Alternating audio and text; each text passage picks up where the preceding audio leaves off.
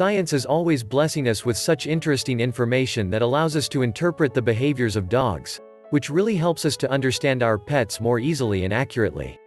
In this video, we will be discussing the meaning of a dog's wagging tail. Is it normal?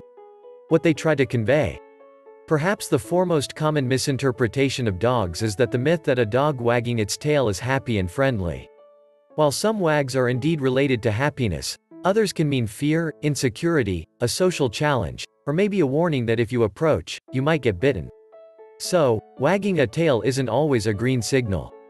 In some ways, tail wagging serves an equivalent communication function as a person's smile, a polite greeting, or a nod of recognition. Smiles are social signals and are thus reserved mostly for situations where somebody is around to see them or to make them comfortable.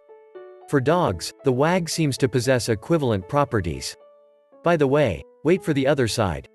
Since tail wagging is supposed as a sign that a dog will only wag its tail when other living beings are around, a person, another dog, a cat, a horse, or perhaps a ball of lint blown by a breeze and seemingly alive.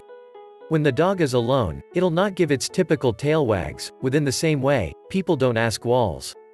Dogs' eyes are far more sensitive to movement than they're to details or colors, so a moving tail is extremely visible to other dogs.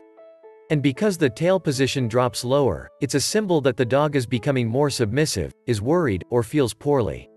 As a result, there are many combinations, including the subsequent common tail movements a slight wag, with each swing of only small breadth, is usually seen during greetings as we do, hello there, or a hopeful, I'm here. A broad wag is friendly. I am not challenging, I'm pleased. This is often the closest to the favored concept of the happiness wag, you're safe in this case. A slow wag with the tail at half-mast is a smaller amount social than most other tail signals.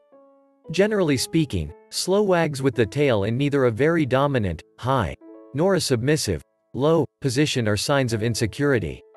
Tiny, high-speed movements signs the dog is close to do something, usually, run or fight. If the tail is held high while vibrating, it's presumably a lively threat. It might be dangerous to humans as well. I highly recommend checking out the link in pinned comment and description if you really love your pups. So, on that note, it's time to wrap up the video. Hopefully, you would have learned something from this video. If so, give this video a thumbs up and subscribe for more.